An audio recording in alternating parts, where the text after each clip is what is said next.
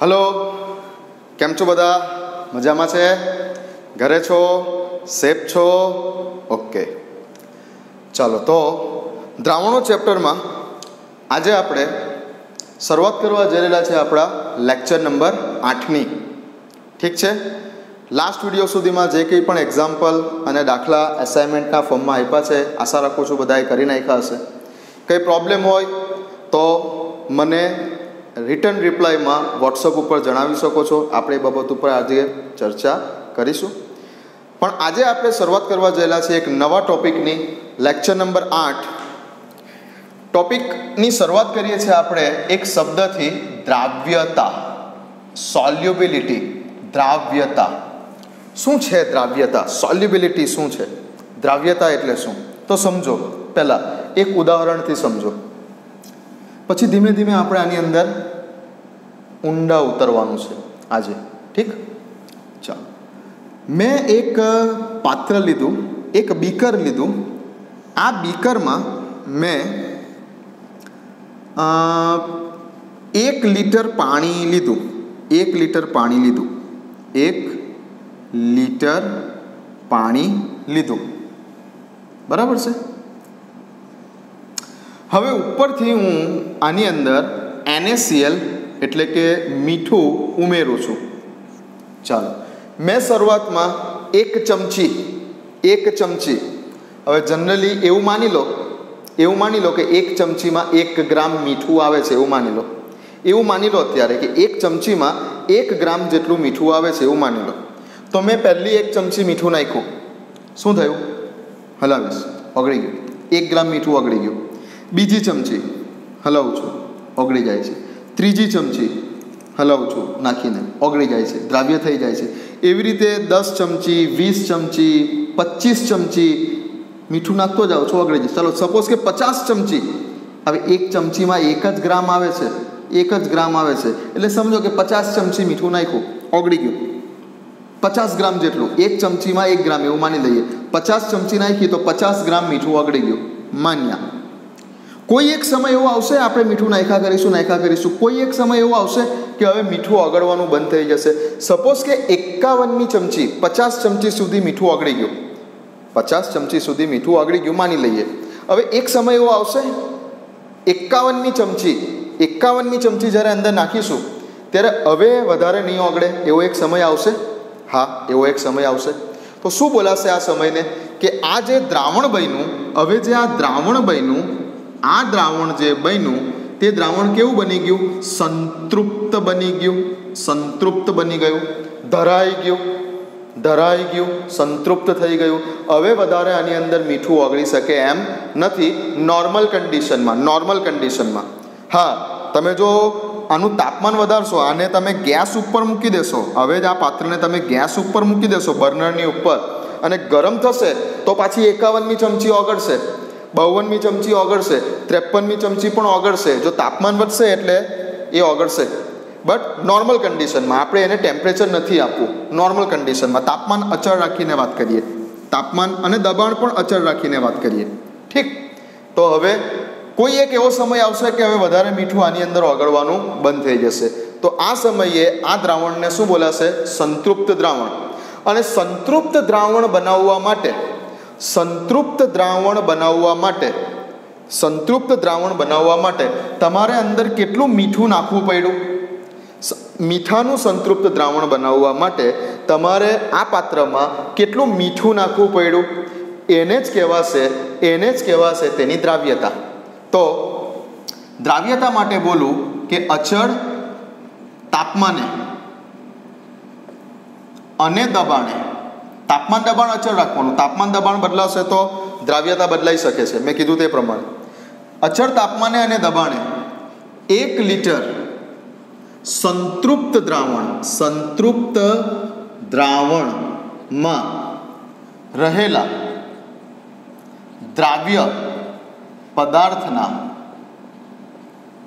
વજનને, generally ગ્રામમાં રહેલા વજનને દ્રાવ્યતા તરીકે ઓળખાય છે. દ્રાવ્યતાની વ્યાખ્યા. જનરલી દ્રાવ્યતાને તમે ગ્રામ પ્રતિ લીટરમાં દર્શાવી શકો છો કે એક લીટરમાં કેટલા ગ્રામ છે. અથવા મોલારિટીની જેમ મોલ પ્રતિ લીટરમાં પણ દર્શાવી શકાય છે.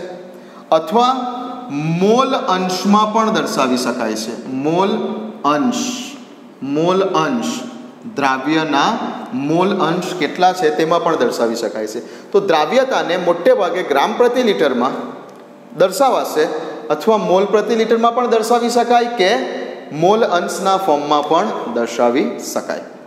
દ્રાવ્યતા એટલે દ્રાવણમાં ત્યાં સુધી કોઈ દ્રાવ્ય પદાર્થને ઉમેરવો કે જ્યાં સુધી તે ઓગળવાનું બંધ ન થઈ જાય એટલે કે દ્રાવણ કેવું ન બની જાય? સંતૃપ્ત ન બની જાય. દ્રાવણ જ્યાં સુધી સંતૃપ્ત ન બની જાય, ત્યાં સુધી એની અંદર દ્રાવ્ય પદાર્થને ઓગાળ નાક નાક કરો. દ્રાવ્ય પદાર્થને એની અંદર ઓગાળવા માટે ઉપરથી નાખ્યા કરો.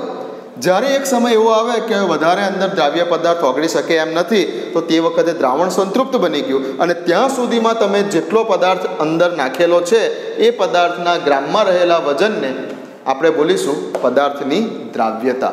તો દ્રાવ્યતાની વ્યાખ્યા લખો.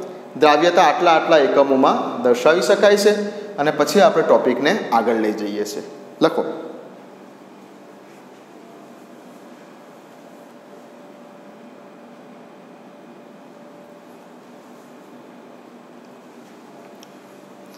ચાલો, લખાઈ ગયું?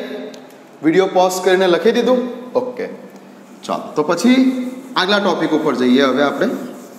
હવે છે, આ દ્રાવ્યતાને અસર કરતા ફેક્ટર્સ દ્રાવ્યતાને અસર કરતા પરિબળો. દ્રાવ્યતાને અસર કરતા પરિબળો કયા કયા છે? તેની વાત કરવાની છે. ચાલો. તો, દ્રાવ્યતાને અસર કરતા પરિબળો. આપ્યો હેડિંગ આપો. દ્રાવ્યતાને અસર કરતા પરિબળો. દ્રાવ્યતાને અસર કરતા પરિબળો. દ્રાવ્યતાને અસર કરતા પરિબળો. ચાલો, દ્રાવ્યતાને અસર કરતા પરિબળો. હવે દ્રાવ્યતાને અસર કરતા પરિબળોમાં જનરલી આપણે સમજવાનું છે બે રીતે. એક તો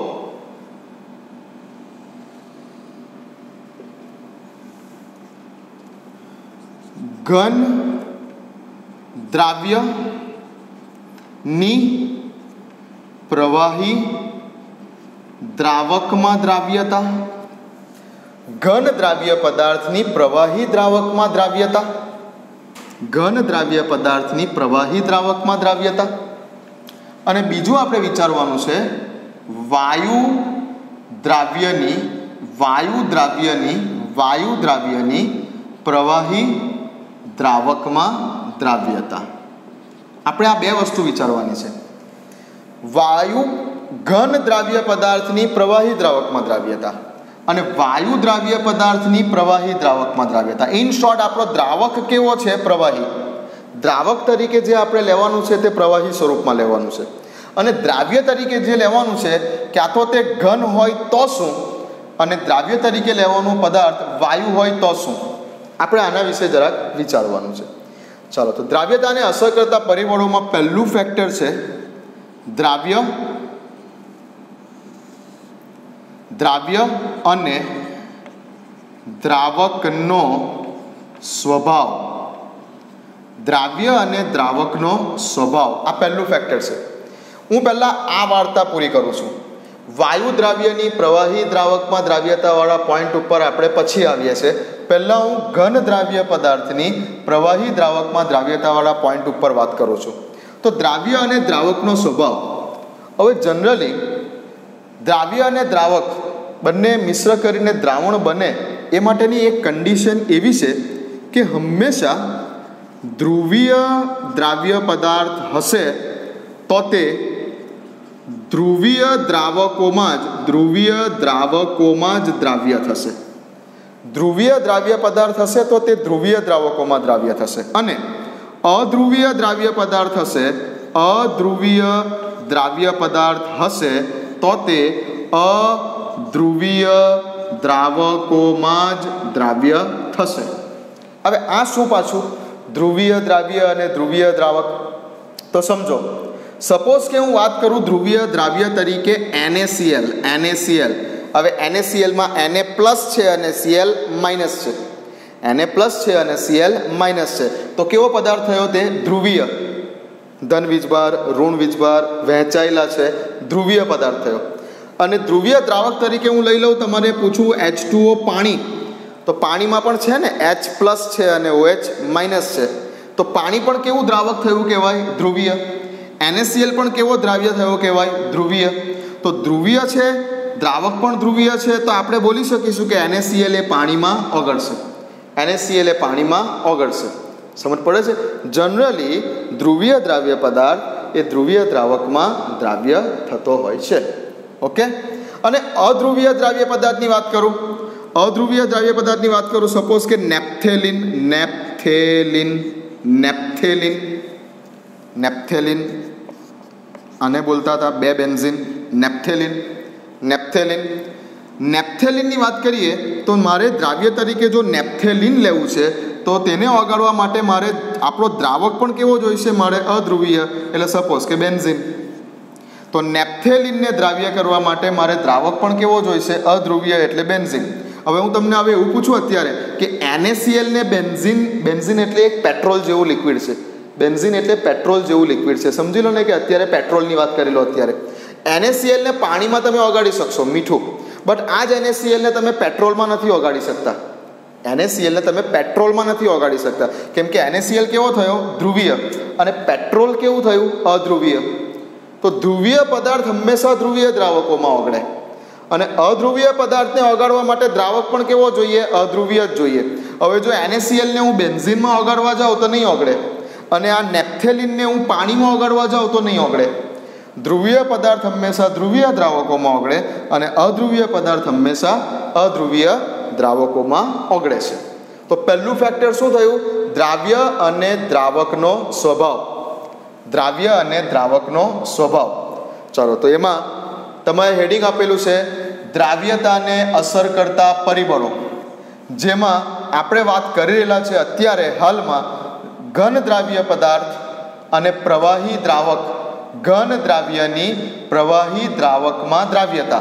આપણે અત્યારે જે વાત કરી રહેલા છે, એ ઘન દ્રાવ્યની પ્રવાહી દ્રાવકમાં દ્રાવ્યતા વિશે વાત કરી રહેલા છે. તો આ હેડિંગ આપ્યું છે. એના પછી આ હેડિંગ આપવાનું છે ઘન દ્રાવ્યની પ્રવાહી દ્રાવકમાં દ્રાવ્યતા. એમાં આપણું પહેલું ફેક્ટર છે કે દ્રાવ્ય અને દ્રાવકનો સ્વભાવ.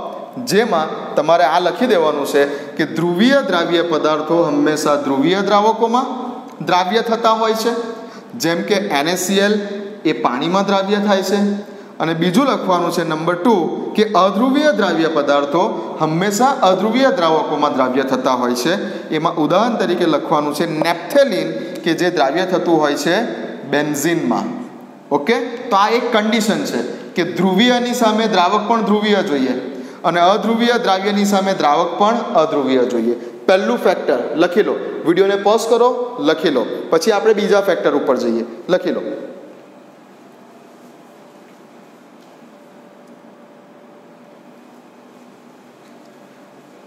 ચાલો લખવા હવે આપણે બીજા ફેક્ટર ઉપર જઈએ. ચાલો. સેકન્ડ ફેક્ટર શું છે? બીજું પરિબળ. તો ધ્યાન આપો હવે. સેકન્ડ ફેક્ટર તરીકે છે, બીજા પરિબળ તરીકે આપણે વિચારવાનું છે ટેમ્પરેચરને બીજા પરિબળ તરીકે આપણે વિચારવાનું છે તાપમાનને તાપમાન. તાપમાન શું અસર કરે છે? વાત ચાલી રહેલી છે ઘન દ્રાવ્યની પ્રવાહી દ્રાવકમાં દ્રાવ્યતા. આપણે અત્યારે આની વાત નથી કરી રહેલા. આપણે આ આની જ વાત કરી રહેલા છે. ઘન દ્રાવ્યની પ્રવાહી દ્રાવકમાં દ્રાવ્યતાને અસર કરતું બીજું પરિબળ છે તાપમાન. હવે તાપમાન જનરલી ઇફેક્ટ કરે છે બે રીતે. હવે તાપમાન શું જોશે? તાપમાન શું જોશે? તાપમાન જનરલી શું જોશે? તો તમે જ્યારે કોઈ દ્રાવ્ય પદાર્થને, કેવા દ્રાવ્ય પદાર્થને? ઘન દ્રાવ્ય પદાર્થને. ઓકે હવે તમે જોયું હશે કે પાણી છે પાણી. પાણીની અંદર જો તમે કેલ્શિયમ કાર્બોનેટ નાખી દો, ચૂનો. પાણીમાં જો તમે ચૂનો નાખી દો, તો પાત્ર કેવું થઈ જાય? આખું પાત્ર ગરમ થઈ જાય. આખું પાત્ર કેવું થઈ જાય? ગરમ થઈ જાય. કેમ ગરમ થયું? ઊર્જા છૂટી પડી. ઊર્જા છૂટી પડી. પાણીમાં તમે ચૂનો નાખો કેલ્શિયમ કાર્બોનેટ, તો આખું પાત્ર ગરમ થઈ જશે. ચૂનાના પાણીનું. આખું પાત્ર ગરમ થઈ જાય. કેમ? તો કે પાણીમાં ચૂનો ઓગાળવાથી એનર્જી છૂટી પડી. ઊર્જા, ઉષ્મા છૂટી પડી. તો પ્રક્રિયા કેવી થઈ? ઉષ્મા ક્ષેપક. પ્રક્રિયા કેવી થઈ? ઉષ્મા ક્ષેપક. ઊર્જા છૂટી પડી. ઠીક છે? અને જો તમે પાણીની અંદર એને એનો ટુ નાખો એને એનો ટુ સોડિયમ નાઇટ્રાઇટ એને એનો ટુ સોડિયમ નાઇટ્રાઇટ પાણીમાં તમે આ લેબોરેટરીમાં કરી જોજો સ્કૂલની લેબોરેટરીમાં એક ટેસ્ટ ટ્યુબમાં પાણી લેજો. એની અંદર એક ચપટી ભરીને, એક ચપટી ભરીને એને એનો ટુ લેજો. Sodium nitrite. તો જો તમે પાણીમાં એક ચપટી ભરીને આ નાખશો, એટલે પાણી આખું આમ ઠંડુ, બરફનું પાણી હશે તેવું થઈ જશે. પાણી એકદમ ઠંડુ લાગશે તમને. બરાબર? તો અહીંયા શું થયું? આ જગ્યા ઉપર જે ઊર્જા છે તે શું થઈ ગઈ? શોષી કાઢી. ઉર્જાનું શોષણ થયું. આ જગ્યા ઉપર પાણી કેવું થયું? એકદમ ઠંડુ થયું. ઠંડુ થઈ ગયું એટલે બધી એનર્જી શું થઈ ગઈ? શોષાઈ ગઈ. એટલે ઠંડુ થઈ ગયું. તો આ કેવી પ્રક્રિયા થઈ? એનર્જી શોષાઈ ગઈ એટલે ઉષ્મા શોષક પ્રક્રિયા થઈ. અને પાણીમાં કેલ્શિયમ કાર્બોનેટ નાખીએ છીએ એટલે આખું પાણી કેવું થઈ જાય છે? ગરમ થઈ ગયું. ગરમ થઈ ગયું એટલે શું થયું? ઊર્જા છૂટી પડી હશે તો જ પાત્ર ગરમ થયું ને? એની છૂટી પડી ઊર્જા અને છૂટી પડતી ઉર્જાને કારણે પાત્ર ગરમ થઈ ગયું. તો એ શું થઈ ગયું? ઉષ્મા ક્ષેપક પ્રક્રિયા થઈ ગઈ. તો હવે જ્યારે આપણે દ્રાવ્ય પદાર્થને દ્રાવકમાં આપણે ઓગાળીએ છીએ ત્યારે, જ્યારે આપણે દ્રાવ્ય પદાર્થને દ્રાવકમાં ઓગાળીએ છીએ ત્યારે બે પ્રકારની પ્રક્રિયા થતી હોય છે. ક્યાં તો પ્રક્રિયા ઉષ્મા શોષક છે. ક્યાં તો પ્રક્રિયા ઉષ્મા શોષક છે અને ક્યાં તો પ્રક્રિયા ઉષ્મા ક્ષેપક છે. બે ટાઈપની પ્રક્રિયા થતી હોય છે. મેં તમને અત્યારે કીધું તે પ્રમાણે. ક્યાં તો ઉષ્મા શોષક, ક્યાં તો ઉષ્મા ક્ષેપક. હવે તાપમાનવાળું પરિબળ ઉષ્મા શોષક પ્રક્રિયા પર કંઈક અલગ રીતે કામ કરે છે અને ઉષ્મા ક્ષેપક પ્રક્રિયા પર કંઈક અલગ રીતે કામ કરે છે. ઉષ્મા શોષક પ્રક્રિયા માટે તાપમાનનો તાપમાનનો વધારો ફાયદાકારક છે. જ્યારે ઉષ્મા ક્ષેપક પ્રક્રિયા માટે તાપમાનનો વધારો ફાયદાકારક નથી. એટલે શું? તો એટલે એવું કે ઉષ્મા શોષક પ્રક્રિયા હશે અને જો તમે તાપમાન વધારશો, ઉષ્મા શોષક પ્રક્રિયા હશે અને તમે જો તાપમાન વધારશો, તો આપણી જે દ્રાવ્યતા છે, આપણે દ્રાવ્યતાના ફેક્ટરની વાત ચાલે છે, તાપમાન દ્રાવ્યતા ઉપર કઈ રીતે અસર કરે છે? તો જે પ્રક્રિયા ઉષ્મા શોષક હશે, એવી ઉષ્મા શોષક પ્રક્રિયા માટે તમે જો તાપમાનને વધારશો, તો તાપમાન વધારતા દ્રાવ્યતા વધશે. તાપમાન વધારતા દ્રાવ્યતા વધશે. જો તમે તાપમાન વધારશો, તો દ્રાવ્યતા વધશે.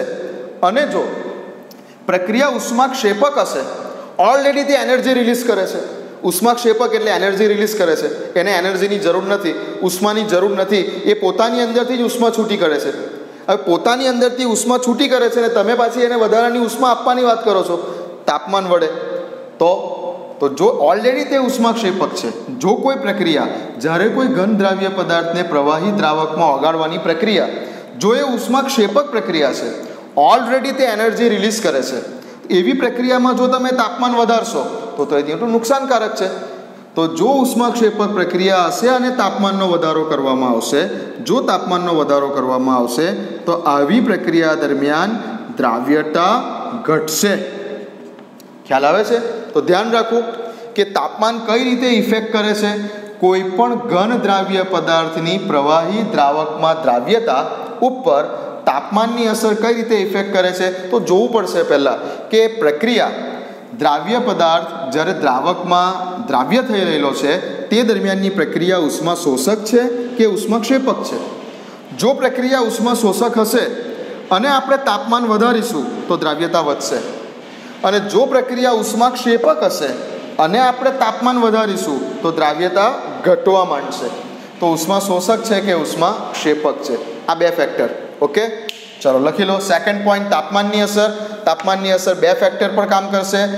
પ્રક્રિયા ઉષ્મા શોષક છે કે પ્રક્રિયા ઉષ્મા ક્ષેપક છે? ઉષ્મા શોષક પ્રક્રિયામાં તાપમાનનો વધારો દ્રાવ્યતા વધારશે. ઉષ્મા ક્ષેપક પ્રક્રિયામાં તાપમાનનો વધારો દ્રાવ્યતા ઘટાડશે. લખી લો આટલું. આપણે ત્રીજા ફેક્ટર ઉપર જઈએ. આના પછીના ત્રીજા ફેક્ટર ઉપર જઈએ. લખી લો પહેલાં આટલું. ચાલો.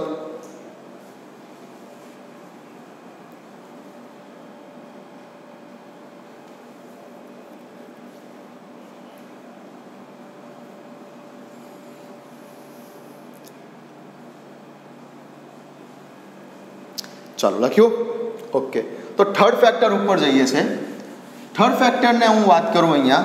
તો ત્રીજું એક ફેક્ટર છે કે દબાણની અસર. ત્રીજું ફેક્ટર છે દબાણની અસર. ઘન દ્રાવ્યની પ્રવાહી દ્રાવકમાં દ્રાવ્યતાને દર્શાવતી દબાણની અસર. હવે જનરલી જ્યારે દ્રાવ્ય પદાર્થ ઘન અવસ્થામાં હશે, જ્યારે આપણો દ્રાવ્ય પદાર્થ, જ્યારે આપણો દ્રાવ્ય પદાર્થ ઘન અવસ્થામાં હશે અથવા પ્રવાહી અવસ્થામાં હશે. ચાલો ને. ઘન અથવા પ્રવાહી કોઈ પણ અવસ્થામાં હશે, દ્રાવ્ય પદાર્થ. અને આપણો દ્રાવક જે છે તે પ્રવાહી અવસ્થામાં છે. ઓકે? તો જ્યારે ઘન અવસ્થામાં કે પ્રવાહી અવસ્થામાં રહેલા દ્રાવ્ય પદાર્થને તમારે પ્રવાહી દ્રાવકમાં દ્રાવ્ય કરવો છે, દ્રાવક તરીકે કોઈ પણ પ્રવાહી દ્રાવકમાં જ્યારે તમારે ઘન દ્રાવ્યને કે પ્રવાહી સ્વરૂપે રહેલા દ્રાવ્યને ઓગાળવું છે, દ્રાવ્ય કરવું છે, તો જનરલી દબાણની કોઈ અસર થતી નથી. આ પોઈન્ટ ઉપર દબાણની કોઈ અસર થતી નથી. કેમ કે દબાણની અસર હંમેશા વાયુને થશે. ઘન અને પ્રવાહી પદાર્થોને દબાણની અસર થતી નથી. તો આ પોઈન્ટ આપણે ડિટેલમાં વાયુ પદાર્થ માટે ચેક કરીશું. તો અહીંયા ખાલી એટલું જ લખવાનું છે કે દબાણની ઘન દ્રાવ્યને પ્રવાહી દ્રાવકમાં દ્રાવ્યતા ઉપર દબાણ કોઈ અસર કરતું નથી. તો ત્રીજું ફેક્ટર દબાણ જેમાં લખવાનું છે કોઈ અસર થતી નથી. તો ત્રણ ફેક્ટર થઈ ગયા. દ્રાવ્યતાને અસર કરતા પરિબળોમાં ઘન દ્રાવ્યની પ્રવાહી દ્રાવકમાં દ્રાવ્યતાને અસર કરતા પરિબળોમાં ત્રણ ફેક્ટર થયા. પહેલું ફેક્ટર શું થયું? દ્રાવ્ય અને દ્રાવકના સ્વભાવ ઉપર. એમાં શું યાદ રાખવાનું છે? ધ્રુવીય દ્રાવ્ય, તો સામે દ્રાવક પણ કેવો જોઈએ? ધ્રુવીય. અથવા અધ્રુવીય દ્રાવ્ય પદાર્થ, તો સામે દ્રાવક પણ કેવો જોઈએ? અધ્રુવીય. તો જ દ્રાવ્ય થાય. તો પહેલું factor nature of the solute and solvent દ્રાવ્ય અને દ્રાવકના સ્વભાવ ઉપર. બીજું ફેક્ટર તાપમાન, કે જે આ છે. અને ત્રીજું ફેક્ટર દબાણ જે છે તે એકચ્યુઅલી વાયુને અસર કરશે. ઘન અને પ્રવાહી પદાર્થો ઉપર તેની અસર થશે નહીં. ઠીક છે? ચાલો. તો હવે આપણે નેક્સ્ટ ટોપિક પર જઈએ છીએ કે જે ખૂબ ઇમ્પોર્ટન્ટ ટોપિક હવે હેડિંગ આપો. વાયુરૂપી દ્રાવ્યની હેડિંગ આપો. વાયુરૂપી દ્રાવ્યની પ્રવાહી દ્રાવકમાં વાયુરૂપી દ્રાવ્યની પ્રવાહી દ્રાવકમાં દ્રાવ્યતા. વાયુરૂપી દ્રાવ્યની પ્રવાહી દ્રાવકમાં દ્રાવ્યતા. ચાલો.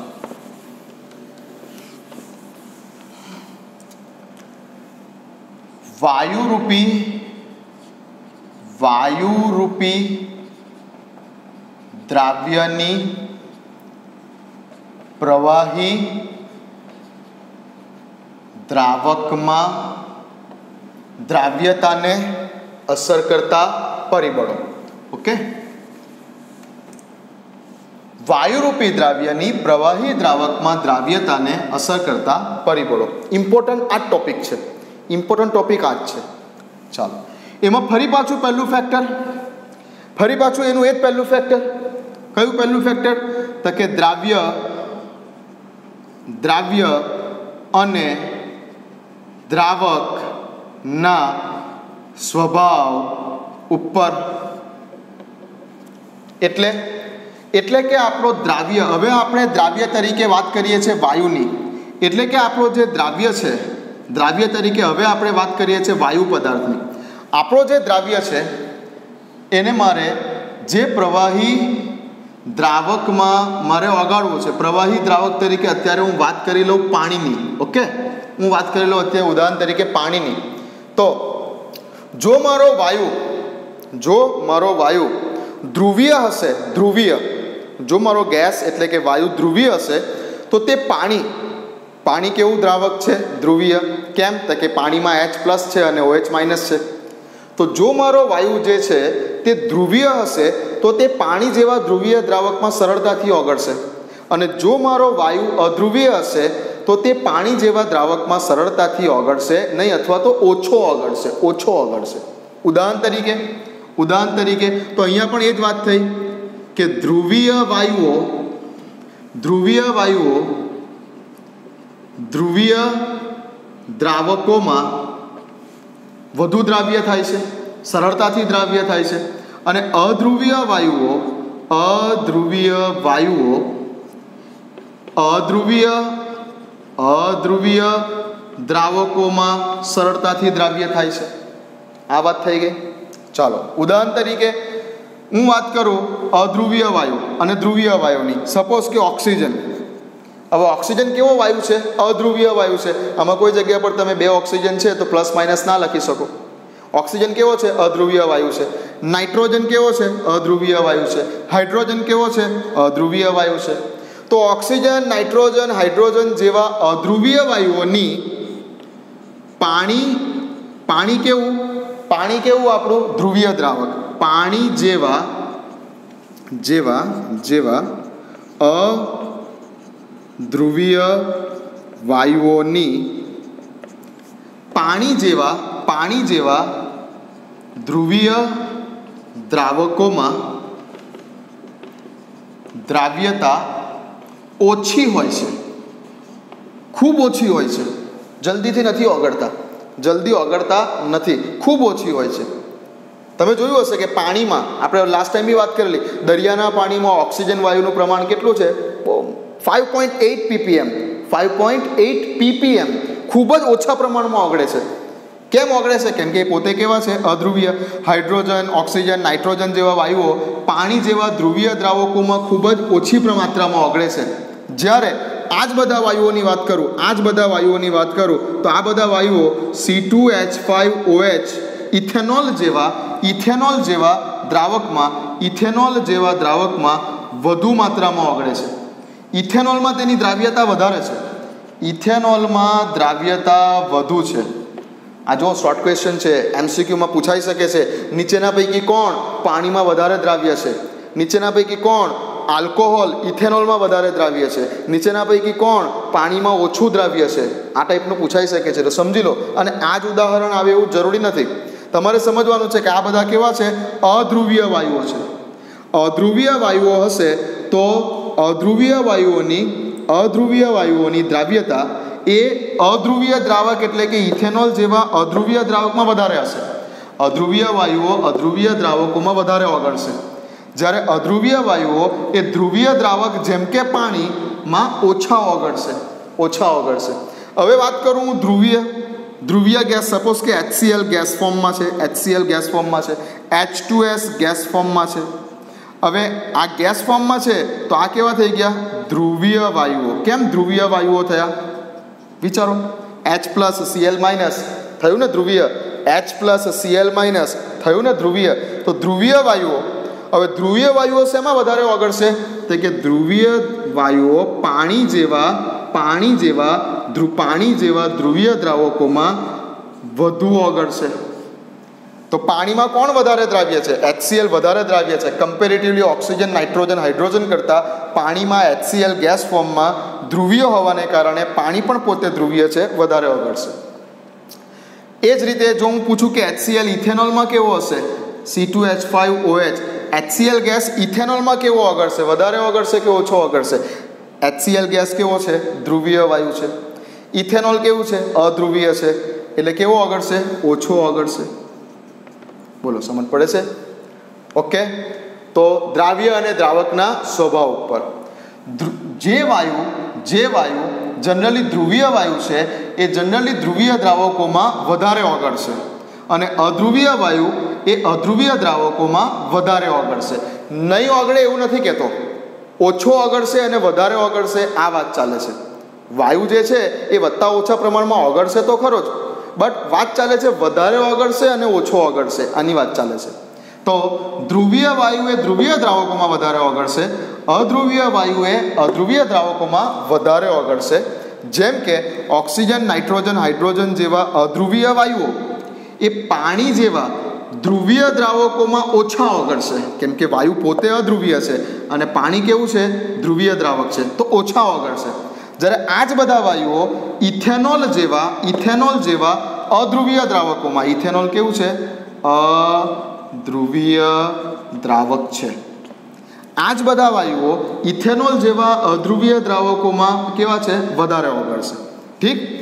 હવે જો હું ધ્રુવીય વાયુઓની વાત કરું તો એચસીએલ એચ પ્લસ અને સીએલ માઇનસ એ જ રીતે એચ ટુ એસ બરાબર? તો આ બધા જે ધ્રુવીય વાયુઓ છે, ધ્રુવીય વાયુઓ, આ બધા ધ્રુવીય વાયુઓ એ પાણી જેવા ધ્રુવીય દ્રાવકોમાં વધારે ઓગળશે.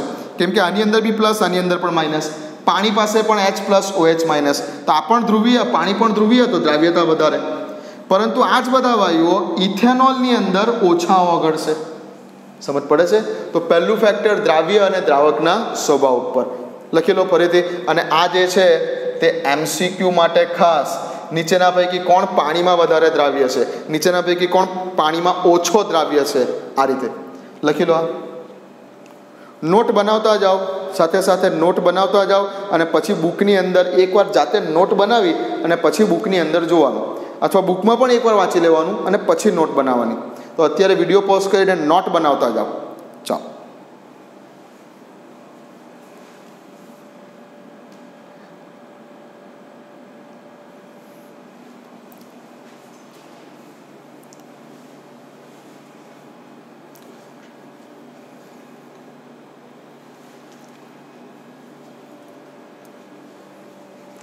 લખાઈ ગયું જવા દો ઓકે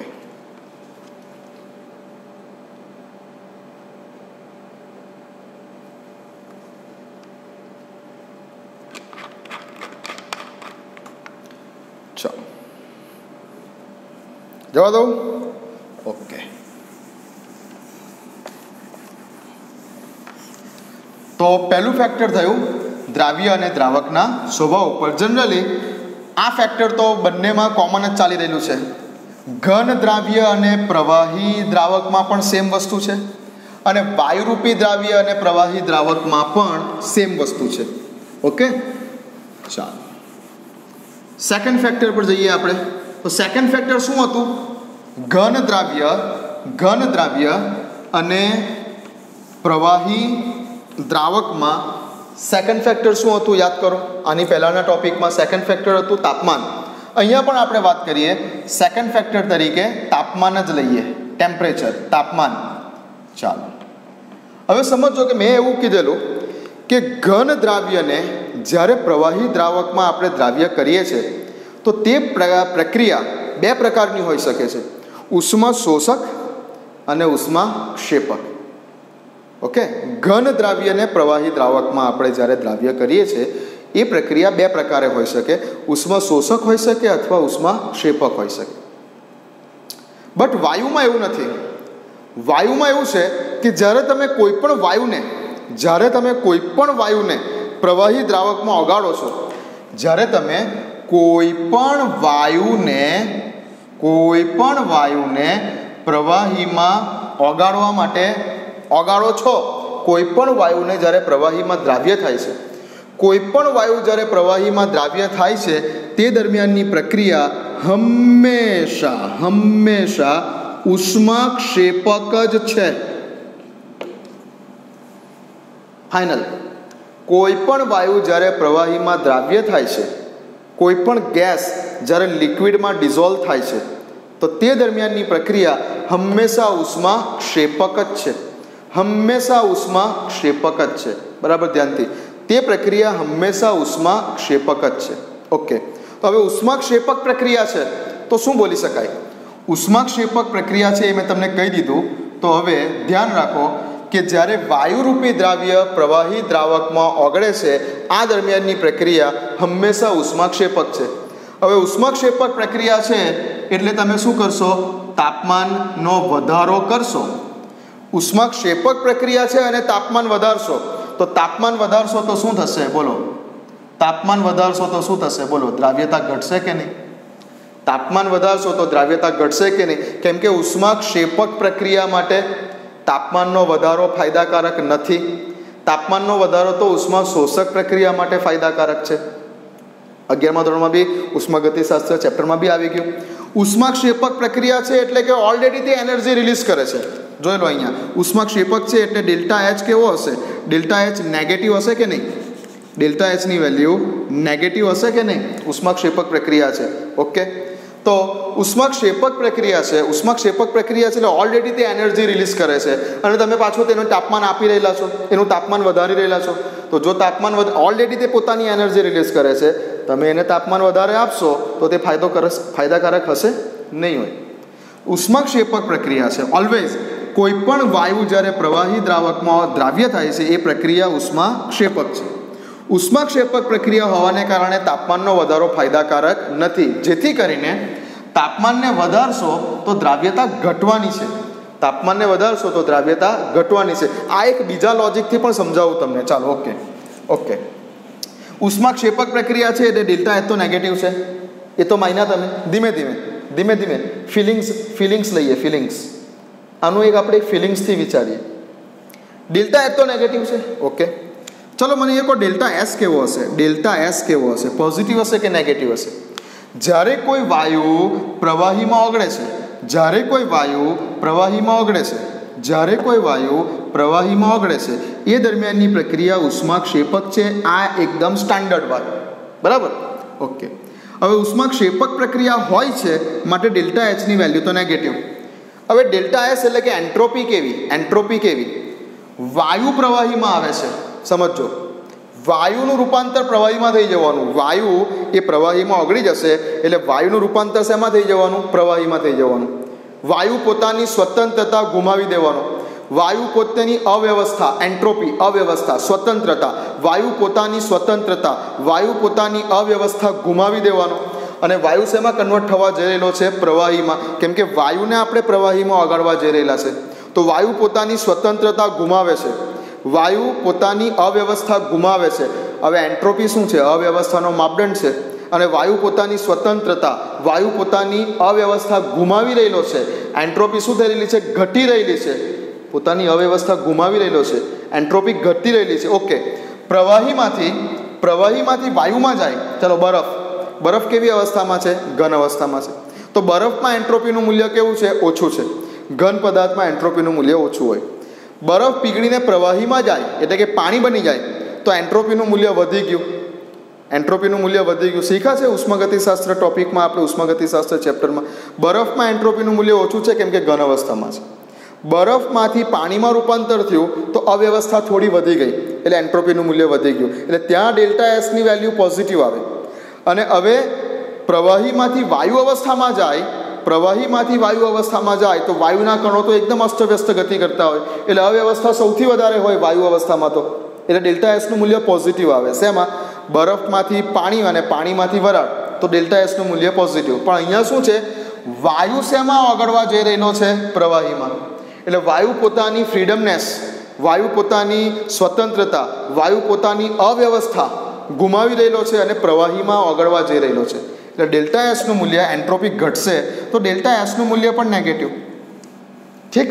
જ્યારે વાયુને પ્રવાહીમાં ઓગાડશો પ્રક્રિયા ઉષ્મા ક્ષેપક હોવાને કારણે ડેલ્ટા એચ નેગેટિવ પ્રક્રિયા ઉષ્મા ક્ષેપક હોવાને કારણે ડેલ્ટા એચ નેગેટિવ વાયુ પોતાની સ્વતંત્રતા ગુમાવી રહેલો છે, અવ્યવસ્થા ગુમાવી રહેલો છે એટલે delta S negative now what about delta G હવે આપણે એવું ઈચ્છીએ છીએ આપણે એવું ઈચ્છીએ છીએ કે વાયુ પ્રવાહીમાં દ્રાવ્ય થઈ જાય.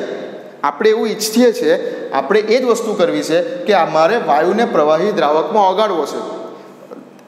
થઈ જાય, પ્રક્રિયા થઈ જાય, પ્રક્રિયા આપમેળે થઈ જાય, એવું માનું છું કે આ પ્રક્રિયા સરળતાથી થઈ જાય. આ પ્રક્રિયા આપમેળે થઈ જાય, પ્રક્રિયા સરળતાથી થઈ જાય, એ માટે ડેલ્ટા જીની વેલ્યુ કેવી હોવી જોઈએ? ડેલ્ટા જીની વેલ્યુ પણ નેગેટિવ જ હોવી જોઈએ. બરાબર? ધ્યાનથી જોજો. આ જગ્યા પરથી ધ્યાન નહીં હટાવતા આ વસ્તુ પૂછાયેલી છે. આ વસ્તુ જે છે જે ડબલઈમાં પૂછાયેલી છે એટલે કરાવું છું, બુકમાં નથી. આ વસ્તુ બુકમાં નથી. પણ જે ડબલઈની અંદર એકવાર પૂછાયેલી છે, આ ટાઈપનો એક શોર્ટ ક્વેશ્ચન શું છે પાછળથી કહીશ તમે જ્યારે શોર્ટ ક્વેશ્ચનની તૈયારી કરાવીશ ત્યારે. પણ અહીંયા ધ્યાન આપજો. ફોકસ તમારું હટાવતો ને, અહીંયાથી જે છે એ ફોકસ આપણું હટવું ના જોઈએ. બહુ ઇમ્પોર્ટન્ટ તમને એમસીક્યુ કરાવવા જયેલો છું આ વસ્તુ. તો પ્રક્રિયા ઉષ્માક્ષેપક છે. વાયુને પ્રવાહીમાં ઓગાળવાની પ્રક્રિયા ઉષ્માક્ષેપક છે ડેલ્ટા એચ તો નેગેટિવ વાયુ વાયુ જ્યારે પ્રવાહીમાં ઓગળશે એટલે વાયુ પોતાની ફ્રીડમનેસ ગુમાવી દેશે. માટે ડેલ્ટા એસ પણ નેગેટિવ અવ્યવસ્થા ગુમાવી દેશે. હવે આપણે એવું ઈચ્છીએ છીએ કે પ્રક્રિયા થઈ જાય. વાયુ પ્રવાહીમાં સરળતાથી આપમેળે ઓગળી જાય એવું આપણે ઈચ્છીએ છીએ. તો ડેલ્ટા જી પણ કેવો હોવો જોઈએ? ડેલ્ટા જી પણ કેવો હોવો જોઈએ? તો ડેલ્ટા જી પણ નેગેટિવ જ હોવો જોઈએ. તો પ્રક્રિયા સરળતાથી આપમેળે થઈ જશે. આપમેળે થતી પ્રક્રિયા માટે ડેલ્ટા જી નેગેટિવ છે. ઓકે તો હવે ડેલ્ટા જી, ડેલ્ટા એચ અને ડેલ્ટા એસને સાંકળતું એક સૂત્ર જે છે, ઉષ્માગતિશાસ્ત્રમાં કંઈક આવું હતું. ડેલ્ટા જી બરાબર delta H minus T delta S આવું સૂત્ર. ગિબ્સનું સમીકરણ. ગિબ્સ હેન હોલ્ટ સમીકરણ તરીકે આપણે આને ઓળખતા હતા. હા. ચલો, હવે સમજી લો કે ડેલ્ટા એચની વેલ્યુ તો, ડેલ્ટા એચની વેલ્યુ તો નેગેટિવમાં છે. ડેલ્ટા એચની વેલ્યુ તો નેગેટિવમાં છે. હું લખી દઉં.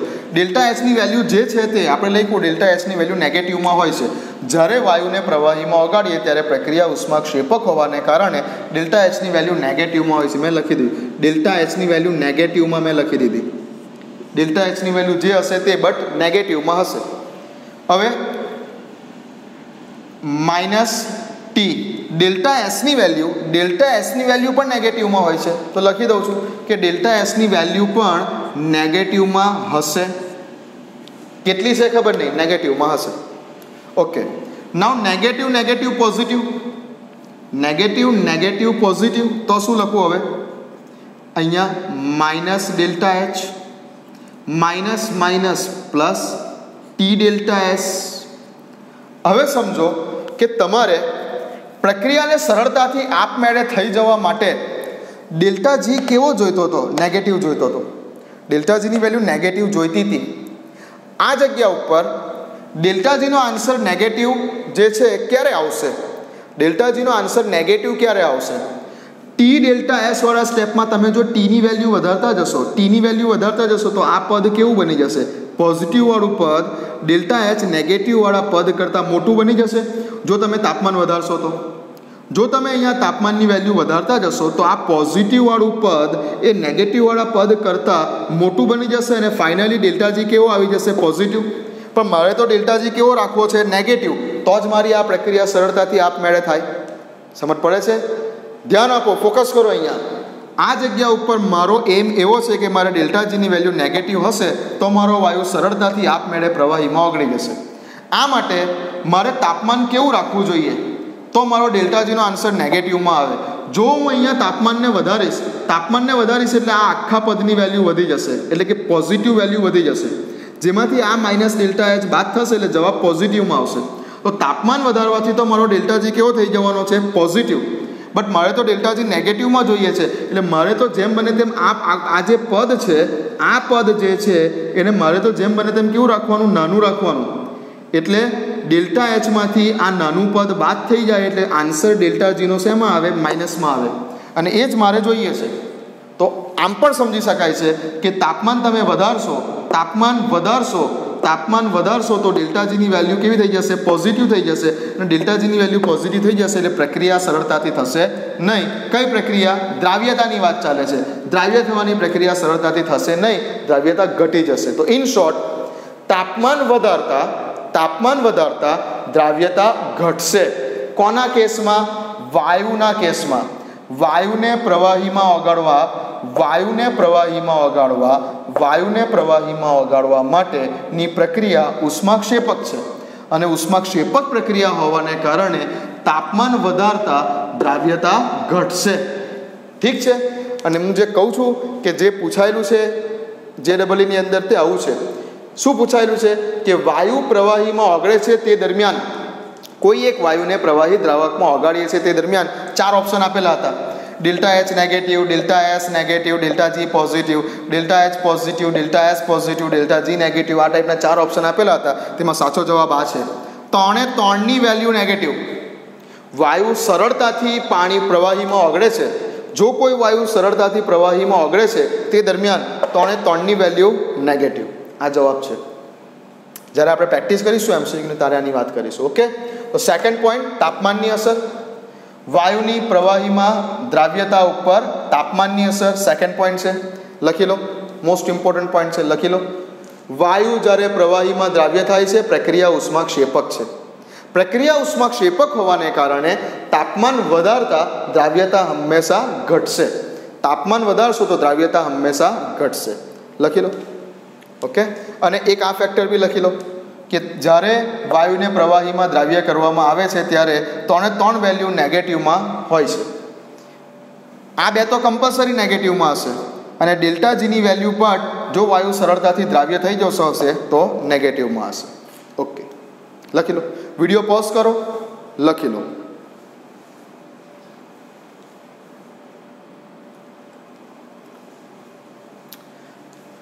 ઓકે લખી લીધું? વિડીયોને પોઝ કરીને લખી લીધું? ઓકે. એક બીજી પણ કંઈક વાત કરું આની અંદર.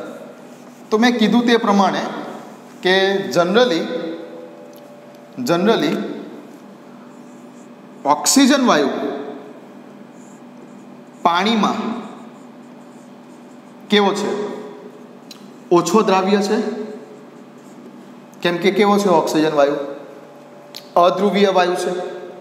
પાણી કેવું છે? ધ્રુવીય દ્રાવક છે.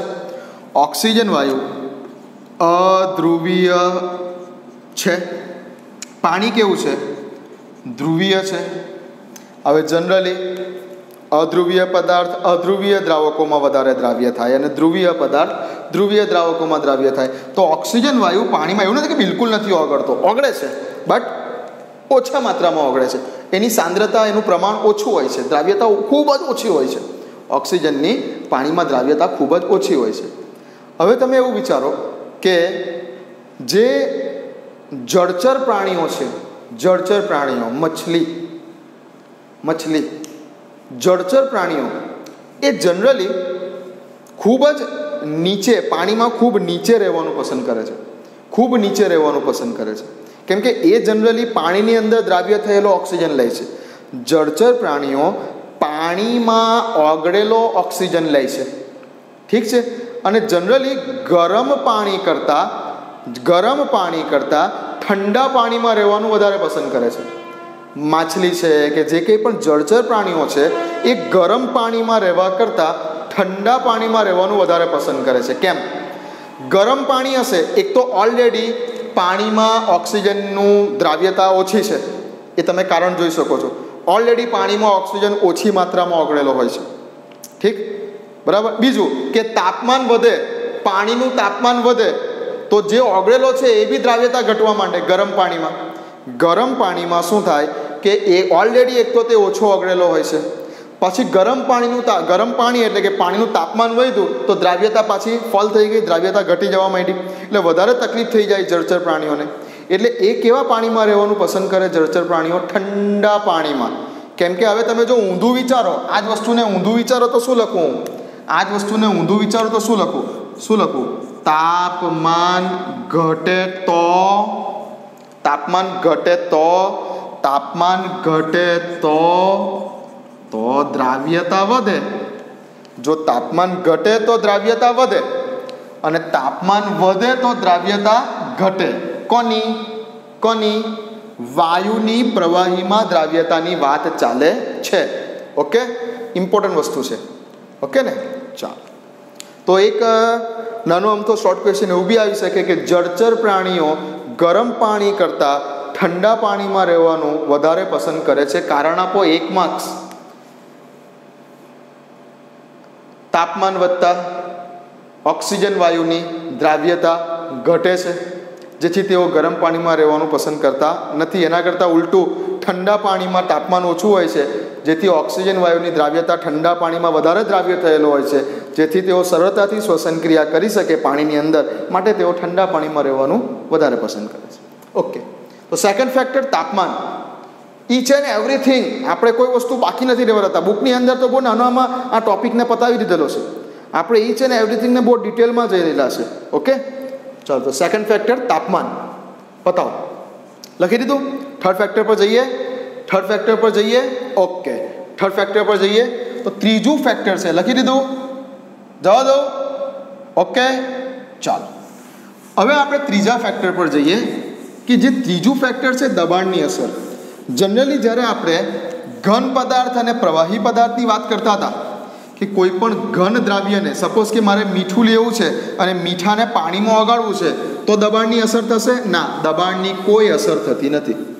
જ્યારે આપણે ઘન દ્રાવ્ય પદાર્થને પ્રવાહી દ્રાવકમાં ઓગાળીએ, તો દબાણની કોઈ ઇફેક્ટ નથી થતી. ઓકે બટ જ્યારે હવે આપણે વાયુરૂપી દ્રાવ્યને, જ્યારે મારે કોઈ વાયુને, જ્યારે મારે કોઈ વાયુને પ્રવાહીમાં ઓગાળવો છે, જ્યારે મારે કોઈ વાયુને પ્રવાહીમાં ઓગાળવો છે તો તે દરમિયાન તે દરમિયાન દબાણ ખૂબ જ અગત્યનું પરિબળ છે ત્રીજું ફેક્ટર પહેલું ફેક્ટર દ્રાવ્ય અને દ્રાવકના સ્વભાવ ઉપર.